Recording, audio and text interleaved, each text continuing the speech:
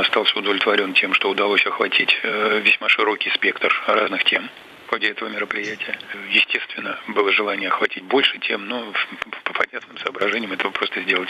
Исчерпать все темы просто невозможно. Президент уже э, вчера, собственно, давал поручение. Также и с премьером встречался вчера, и э, с администрацией. Сразу были поручения по проработке целого ряда вопросов, которые затрагивались в ходе этого мероприятия. А, я, наверное, не буду спрашивать, кто так сильно удовлетворил э, президента, что он был прям так сильно удовлетворен этой пресс-конференцией. Я спрошу 4 часа, 4 минуты и 67 вопросов, из которых э, ну, я не увидела острых, которые были у него за спиной. Вы услышали острые вопросы к президенту?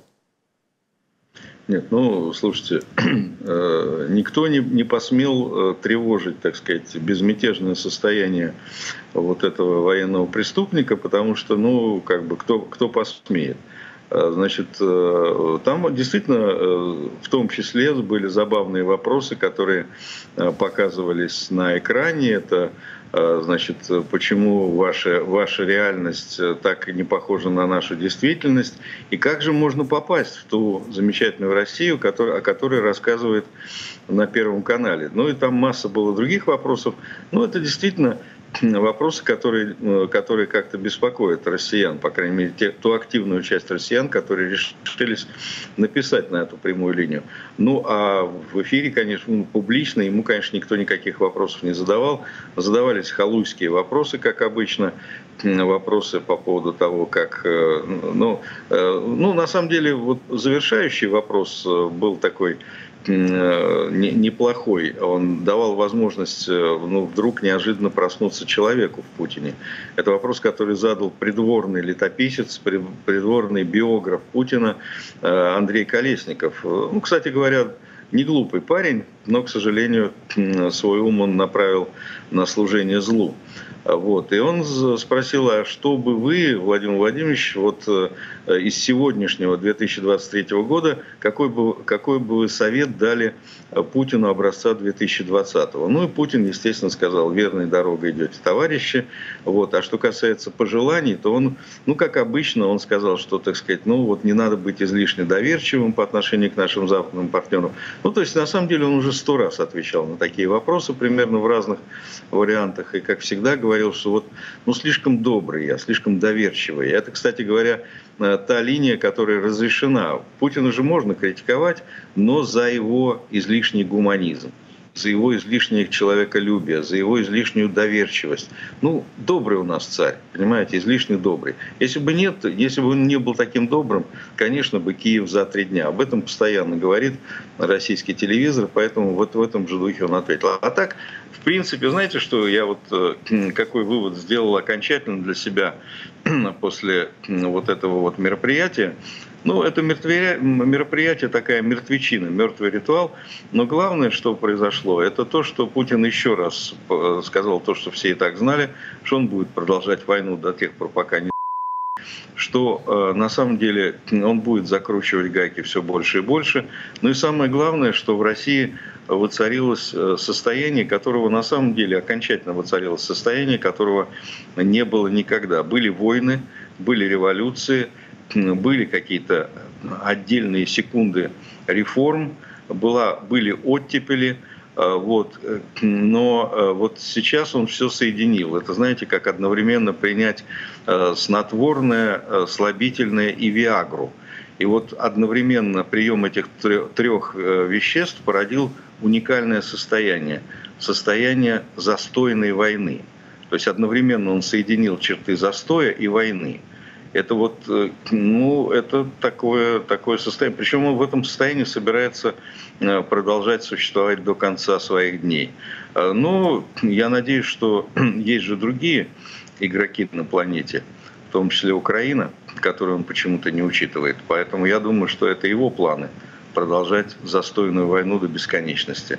Но я точно знаю, что у Украины другие планы. Так что пусть, пусть и дальше пребывает вот в такой, в такой уверенности. А, а вы знаете, тут э, все это мероприятие я пыталась э, читать между строк. Э, не то, что Путин говорит, а то, как он на это реагирует, как э, ну, он проговаривается в некоторых моментах, э, и его реакции на иногда, ну это не были острые вопросы, но это были некомфортные вопросы, эм, которые все равно прозвучали.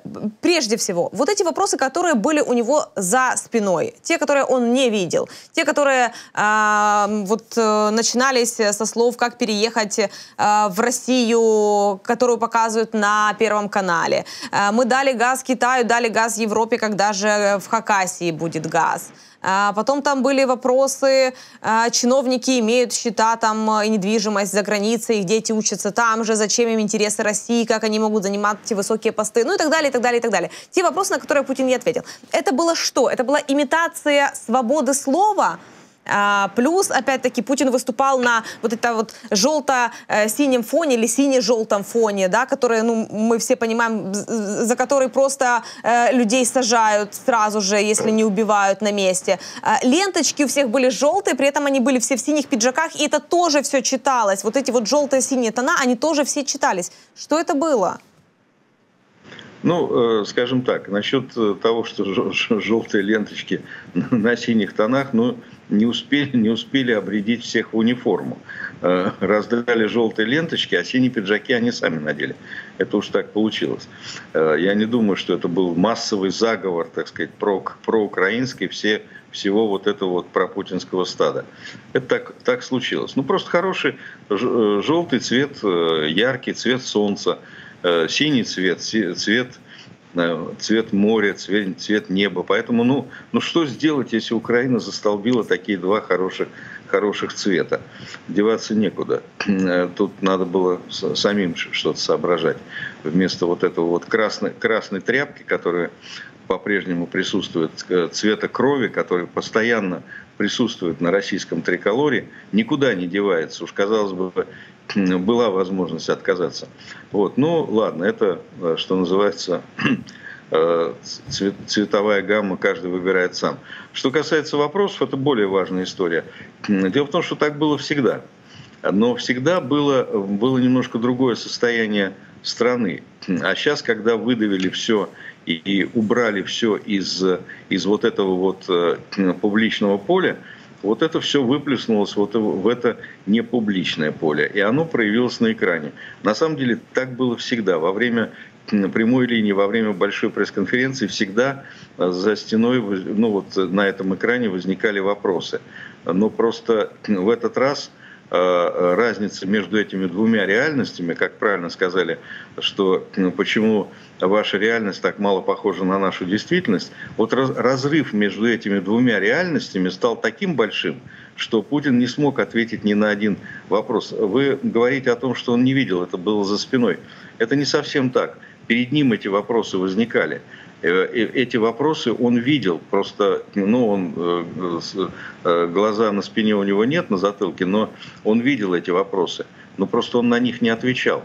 Потому что, ну что ответить? Причем, вот вы знаете, мы, конечно, выбрали такие наиболее остро звучащие вопросы, а там была огромная череда вопросов, которые кричала, это кричащие вопросы о чудовищной нищете, о чудовищной разрухе российских регионов.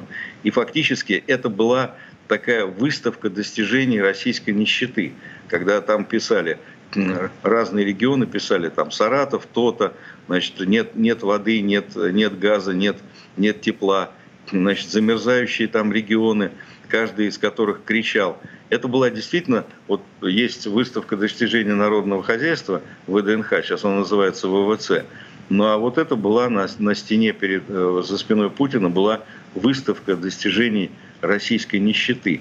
Регионы соревновались в крике «СОС».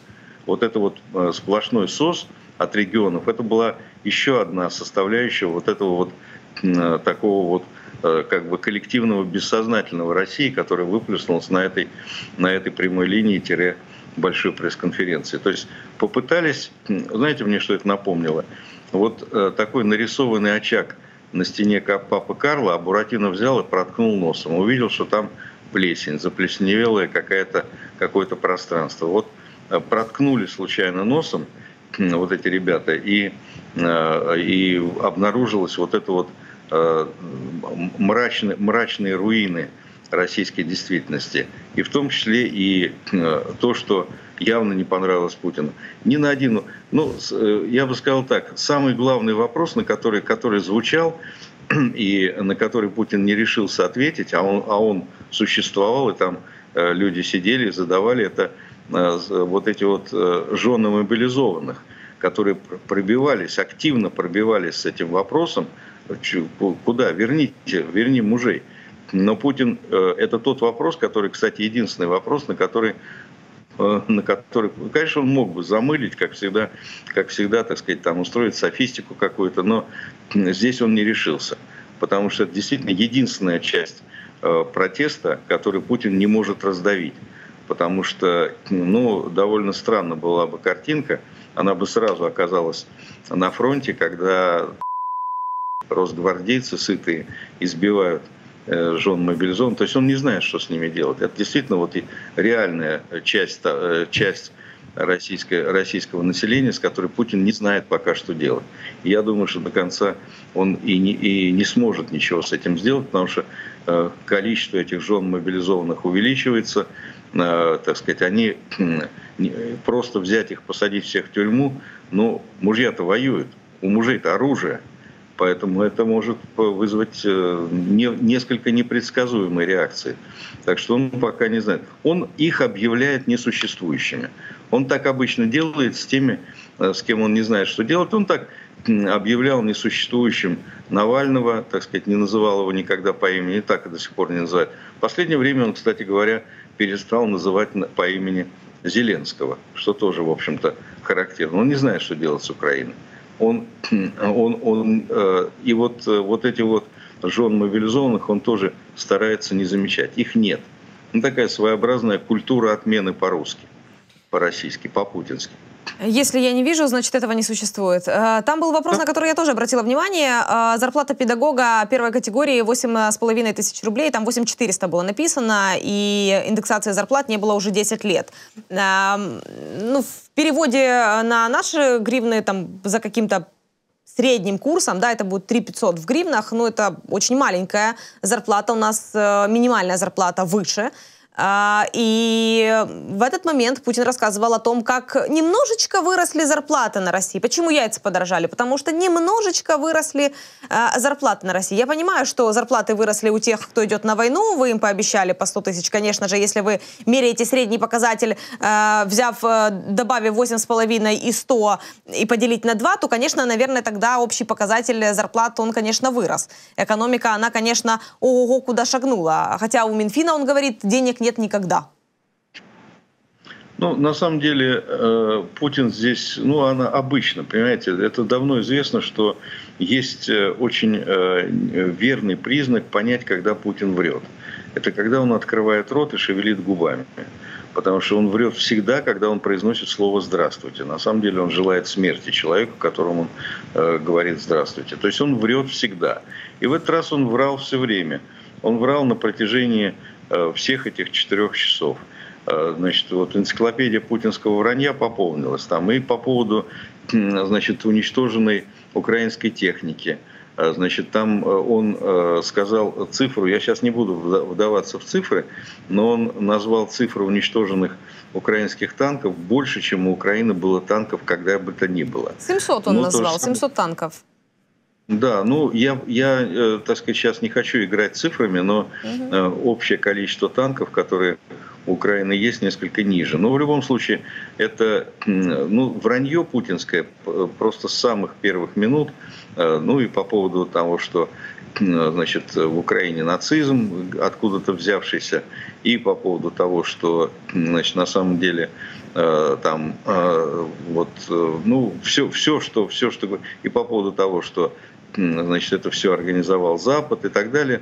Но это обычное вранье, это уже привычное, рутинное вранье. Но было и какое-то, какие-то новшества. То есть, ну, в общем, он вел себя как такой гибрид Хлестакова и Мюнхгаузена. Вот. Но это обычное его состояние, здесь нет ничего нового. Вообще, на самом деле, за эти четыре с лишним часа он не сказал ни одного нового слова. Ни одного. То есть, на самом деле, как-то вот ожидалось, что на, этой, на этом мероприятии он там совершит какие-то откровения, там, в частности, рассчитывали, что он выдвинется, как раз вот произойдет выдвижение, что там какая-то акция, возбужденная общественность его попросит стать еще раз э, самодержцем, еще раз зайти на российский престол. Но Путин предпочел это сделать в другой, более камерной обстановке, ну, что называется, через жогу.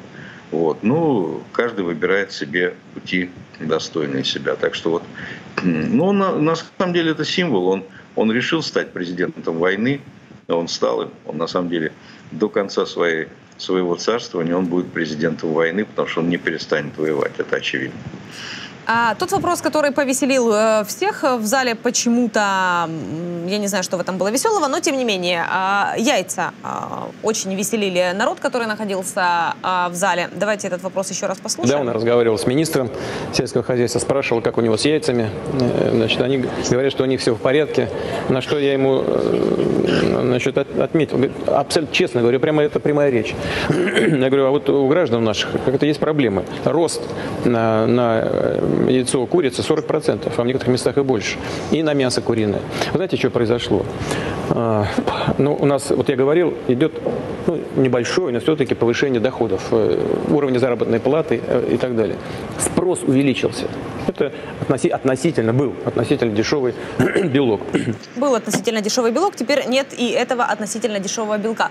А, но эм, вопрос к яйцам-то. А, во-первых, мы помним, э, как включался министр э, сельского хозяйства с курятника и рассказывал о том, что они э, договариваются сейчас с курами, чтобы яйца были дешевле. А во-вторых, мы помним, кто есть министром сельского хозяйства. А, и тут как бы тот, кого видят или же хотят видеть, или же выдвигают следующие президенты России. А, тут идет про сына Патрушева. И вот мы тут начали, знаете, голову ломать. Это был э, посыл в его сторону, мол, мальчик, яиц-то у тебя и нет, собственно, сиди там себе тихонечко в курятнике и договаривайся с курами. Или же я преувеличиваю всю эту историю? Да нет, вы не преувеличиваете. Дело в том, что, конечно, никакого преемника у Путина никогда не было, нет и не будет.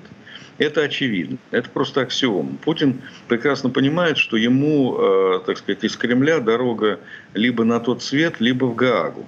Другого варианта у него нет. Поэтому никого он не оставит. Любой преемник Патрушев, не Патрушев, кто угодно.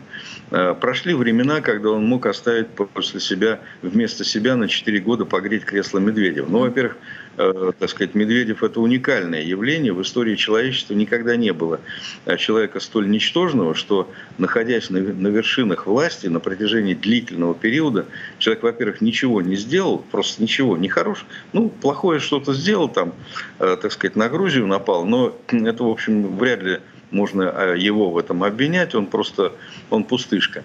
Вот. Но человек не создал даже команды вообще никакой. Ну, просто каждый, кто вот примерно хоть представляет себе, кто есть кто в российской власти, знает прекрасно, что Медведев никогда в жизни ничего не решал и никогда ничем не руководил, даже своей секретаршей.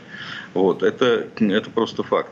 Поэтому, ну, это уникальное явление. И второй раз, ну, не те времена, чтобы оставлять против себя, после себя на 6 лет Медведева. А другого нет. Любой преемник, любой человек, который встанет после Путина, так сказать, в Кремль, он, во-первых, прекратит войну сразу же. Даже самые пещерные людоеды, а, все равно войну надо прекращать, потому что понятно, что она, она просто уничтожает, а, так сказать, страну, Россию прежде всего, не Украину, а Россию. Это первое. И второе, ну, в России есть обычай, обычай славный, такой исторический обычай. Каждый следующий царь, он э, вытирает ноги о предшествующего. Там Сталин уничтожил Ленинскую гвардию, э, Хрущев, э, так сказать, во всем обвинил Сталина, Брежнев Хрущева, Горбачев Брежнева, значит, Ельцин Горбачева, ну а Путин – он всячески, так сказать, ссылался на проклятые 90 До сих пор ссылается. Угу. Сейчас уже 20-е идут, а он все на 90-е ссылается. Вот. Поэтому ну, любой преемник Путина обязательно во всем обвинит Путина, и э, поэтому Путин прекрасно понимает, что ему никакого преемника не, не должно быть. Что же касается Патрушева, там была очень забавная сцена, когда значит, куры очень сильно возражали против того, что говорил Патрушев. Он действительно из курятника э, беседовал. Это было, конечно же, унижение. То есть, поскольку слухи о том, что вот, ну это же, это же, понимаете, это же вот такие же политологи, которые рассказывают о том, что Путин в холодильнике лежит до сих пор, так сказать. Ну почему-то он, как его выпускают, двери неплотно закрываются в холодильник, он оттуда выходит и начинает ерундой заниматься. Ну, в конце концов, с этим он, э, это он воспринимает, так сказать, как э, комплимент себе. Вот, смотрите, я в холодильнике, а какой бодрый. Вот. А насчет всяких раздувания слухов по преемнике, он эти слухи уничтожил, потому что он представил этого Патрушева как клоуна, без яиц, но в курятнике. И это, в общем, э, так сказать, ну и к тому же сам себе Патрушев, представ вот в таком вот виде, он был достаточно нелеп, смешонный, ну и явно это был не, не тот героический человек, который может стать, э, так сказать, следующим тираном, диктатором России. Смешной человечек.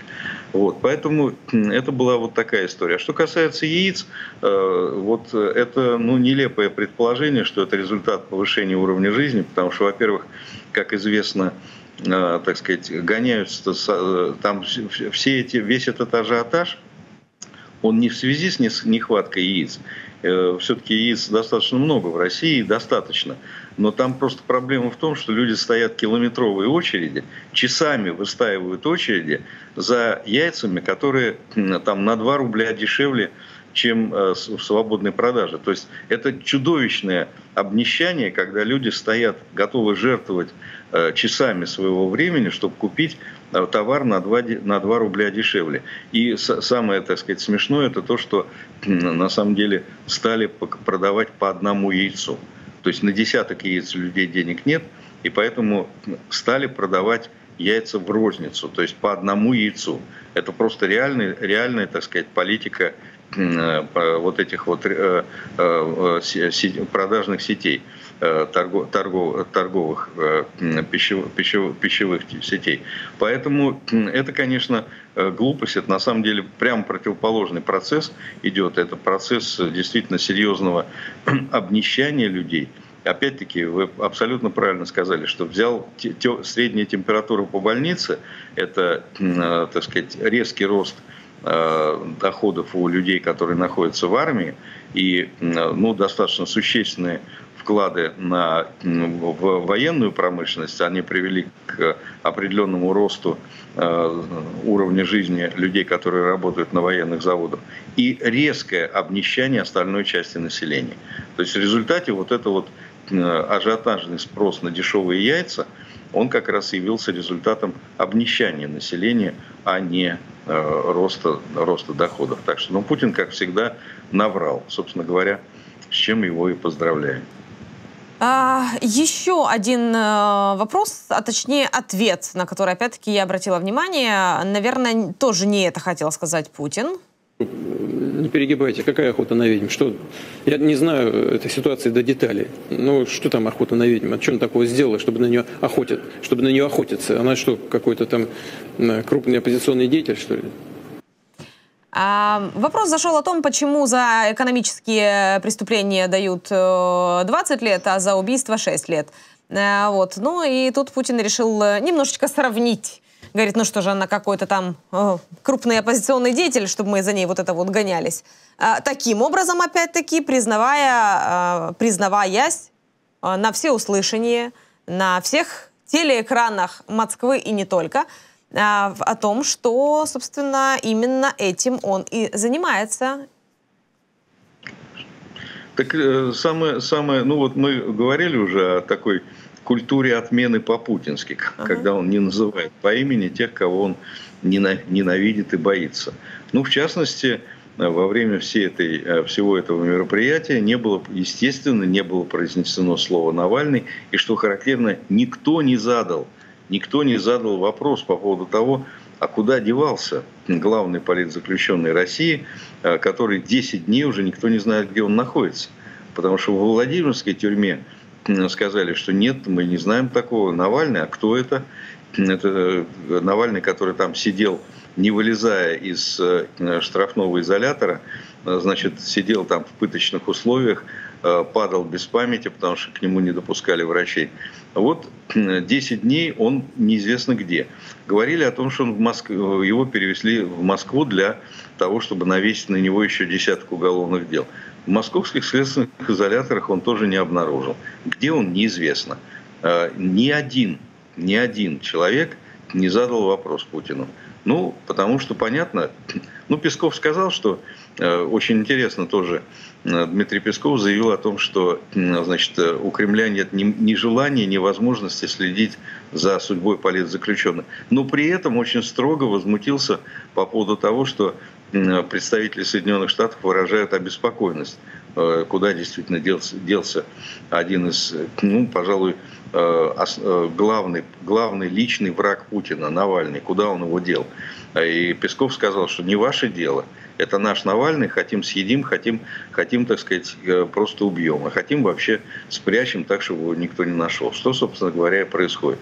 Но это один из очень многих вопросов, на которые, которые Путин не только не ответил, но и которые никто не задал. Никто, в частности, что, что самое смешное, во время вот этой четырехчасовой конференции э, и прямой линии никто не, не, не было произнесено слово э, «грядущие выборы» вообще по этому поводу. А с чем, Владимир Владимирович, вы идете вот на, на следующий свой 125-й срок?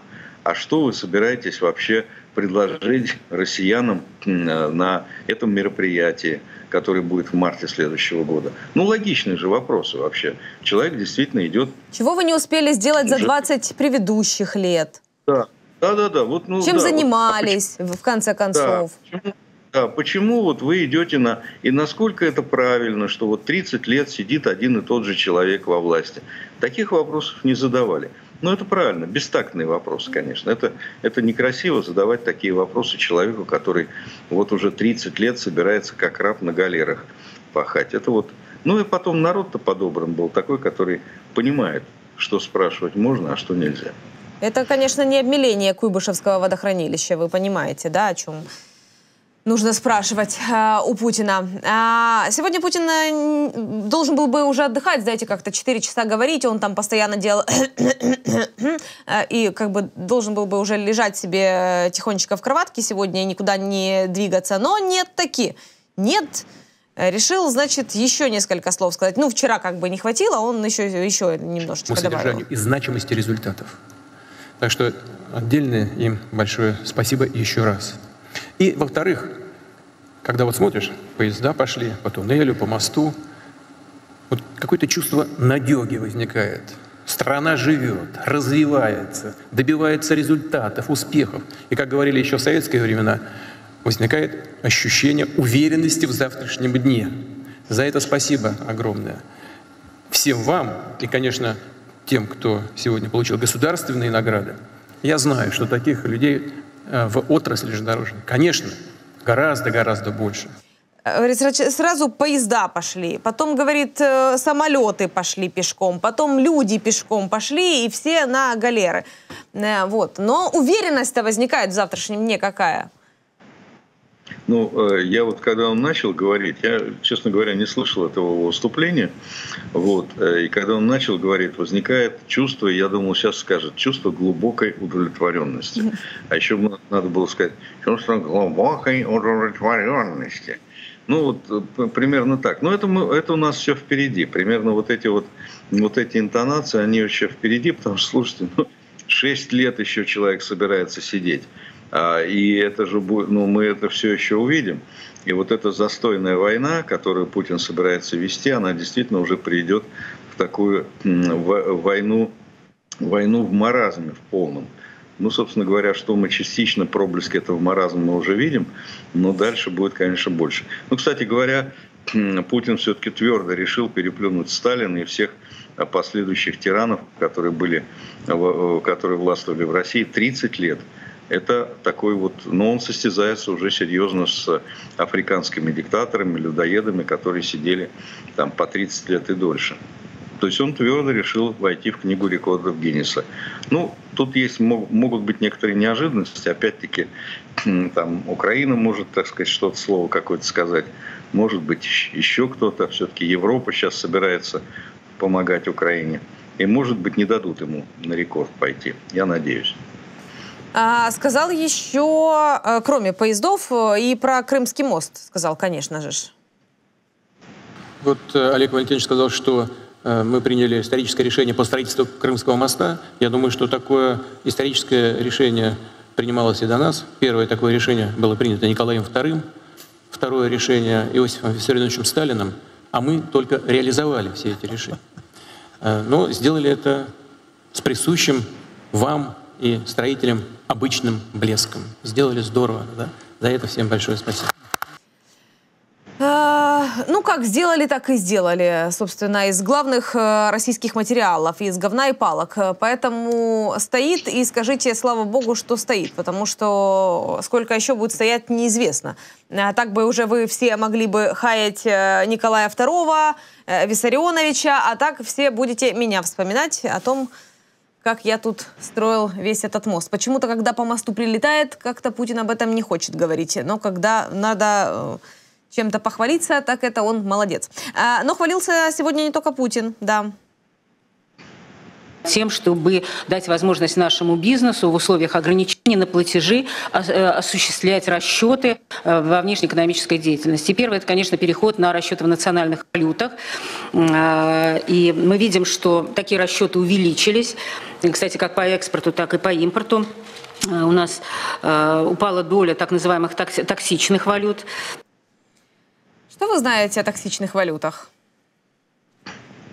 Ну, э, во-первых, начнем с того, что главной токсичной валютой является, безусловно, рубль. Угу. Помимо это главная токсичная валюта, э, валюта, от которой, в общем-то, э, стараются избавиться и которая просто-напросто не, не очень сейчас конвертируема. Есть еще одна токсичная валюта, которой, к сожалению, вот здесь уже никуда не денешься, потому что ну, поскольку Россия потеряла окончательно западный рынок сбыта э, э, энергоресурсов и значительную часть сейчас э, переправила на, на юг. Это прежде всего Китай и Индия. А Индия, ну, слушайте, индусы – древняя цивилизация, умные люди. И поэтому они, конечно, совершенно не собираются покупать и отказались покупать российский нефть и газ за, за доллары, за так сказать, за, за какую-то конвертируемую валюту. И они покупают, расплачиваются рупиями. Э, Индия достаточно крепкая растущая экономика, но рупии не являются конвертируемой валютой, и поэтому не является одной из мировых резервных валют, и поэтому в российском бюджете скопилось огромное количество рупий, на которые, в общем, ничего нельзя купить. И это тоже еще одна токсичная валюта, о которой идет речь. Ну и в конечном итоге, вроде бы как по цифрам, вот Путин все время хвалится, что у него все хорошо, с экономикой все здорово, но по цифрам вроде все здорово, а на самом деле нигде ничего нет. То есть, ну, вот такая вот загадочная экономика. Ну, кстати говоря, Набиулина, которую сейчас вы показывали, она э, это действительно э, ну, такая вот спасительная палочка-выручалочка, потому что она умудряется, она и Силуанов, это два, но с моей точки зрения, два главных врага Украины. Потому что, несмотря на то, что они не, не являются там, генералами и маршалами, они умудряются держать на плаву российскую экономику, вопреки тому, что на самом деле она, конечно, по идее должна была давно упасть. Вот. Но э, их ресурсы тоже заканчиваются, поэтому я думаю, что э, в какой-то перспективе вот это плавное плавное, так сказать, снижение, падение российской экономики неизбежно. К сожалению, к большому сожалению, э, никуда не девается пока главный ресурс, основной ресурс. Это, ну, что называется, во-первых, нулевая цена человеческой жизни и э, готовность российского населения затягивать пояса и терпеть. Потому что, ну, классический анекдот, э, значит, э, э, там, семьи алкоголиков, который отец потерял работу, его сын спрашивает, ну что, папа, ты перестанешь пить? на что ему отвечает, нет, сынок, ты перестанешь есть. Вот в этом смысле, в этом смысле на самом деле, вот как бы это главная надежда Путина.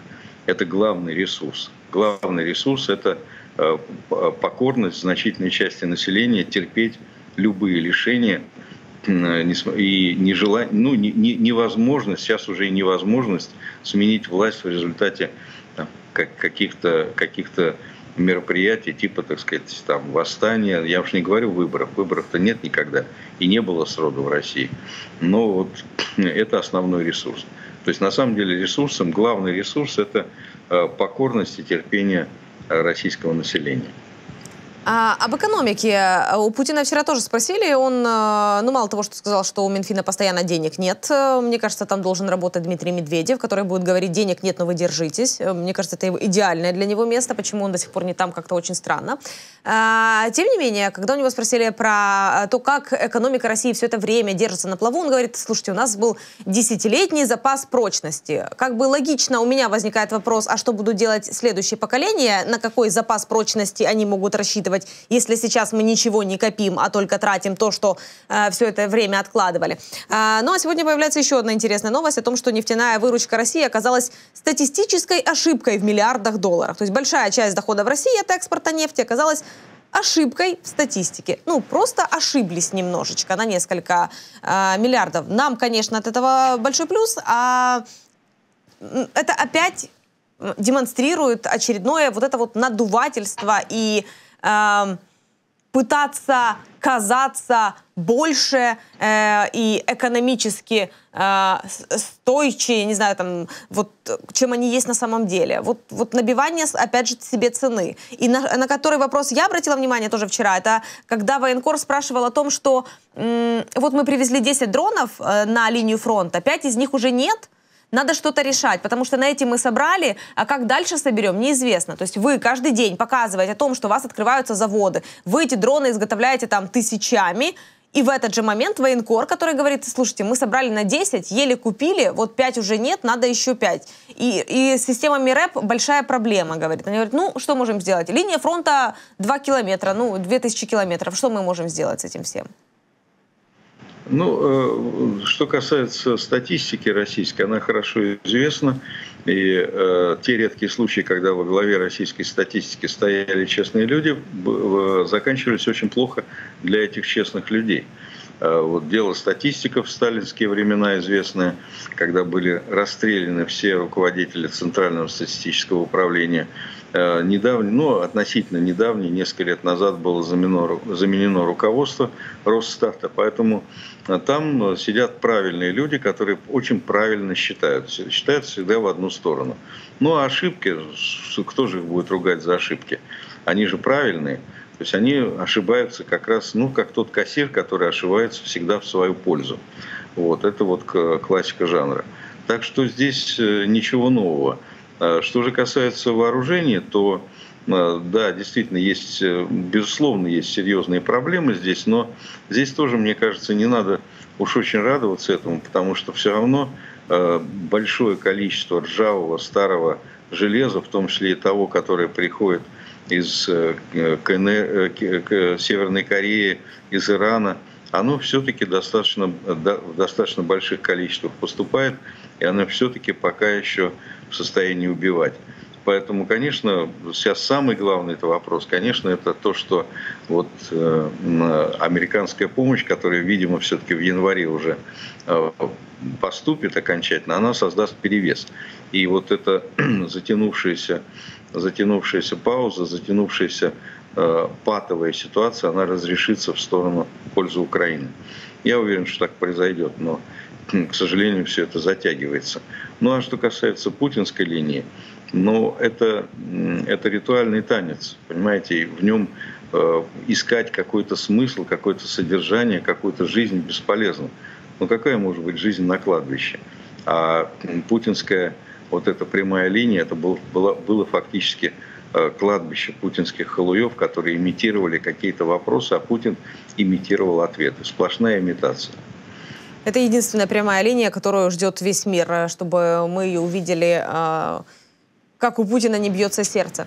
А, кстати, об этом тоже. Э, цифры Путин вчера назвал динамика роста жизни, продолжительности жизни. Говорит, в 2021 году 70 лет, в 2022 72, в 2023 году 74. А, у меня возник логичный вопрос, откуда эти цифры. Понятное дело, что, скорее всего, их писал Коношенков, тем не менее. Он для чего-то их назвал. Откуда эти цифры? То есть молодое поколение умирает, старым приходится жить дольше? Знаете, в условиях, когда э, значит, 300 э, с чем-то тысяч э, боевых потерь на фронте, я понимаю, что на фоне, на фоне 140 миллионов это может быть не так, не так заметно, но тем не менее, на фоне того, что несколько миллионов уехало из России, на фоне того, что на сегодняшний момент в России одна из самых тяжелых демографических ситуаций – Э, в Европе. Э, вот на, на, на этом фоне разговоры о росте продолжительности жизни в условиях, опять-таки, э, нарастающей нищеты, ну, это выглядит, ну, даже не как барон Мюнхгаузен, это, это что-то, так сказать, уже запредельное. Поэтому я думаю, что это та же самая статистика. Ну, не знаю, там, значит, Коношенков писал, или сам Путин, или Песков ему подсказал. Ну, в любом случае, это, конечно, вранье. Я думаю, что самая главная проблема заключается в том, что реальных цифр никто не знает. Реальных цифр никто не знает. А в России э, цифры статистики зачастую просто, ну так же, как в свое время было с госпланом. То есть реальных цифр не знает никто. А потом в конечном итоге вдруг выяснялось, ну вот по советскому периоду мы знали, что потом вдруг задним числом выяснялось, что ни один из пятилетних планов не был выполнен, оказывается. Но это потом выяснится.